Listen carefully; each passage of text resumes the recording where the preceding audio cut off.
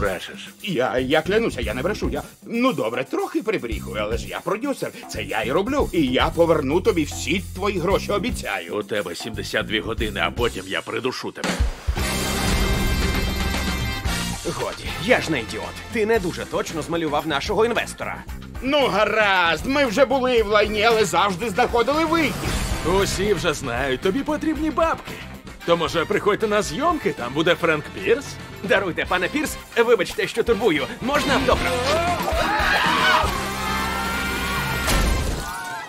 Френк Пірс був застрахований на 5 мільйонів доларів. От падло, не зняв жодного кадру з того фільму, а вже загріб 5 мільйонів баксів.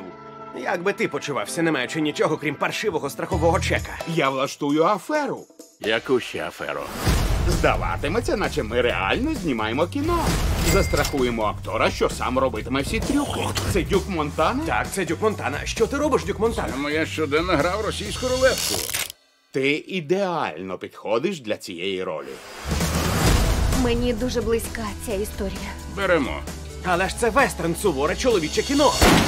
О, Мої вітання. Бац! Складний трюк і він здихає. А ми багаті, дуже багаті. Мотор!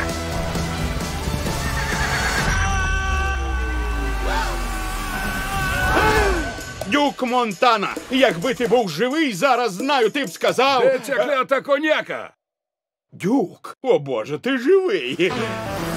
Ти не знаєш цього гада, в нього дев'ять життів. Невже так важко замочити когось?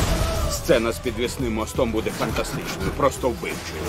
Якби не ти, був би зараз наді мною двометровий шар землі. Ага. Я вистежу тебе. Ці люди за тебе помруть. Не дуже вдалий вистріл. Ми у справі. Та що ж ти за істота така? Ну, я продюсер.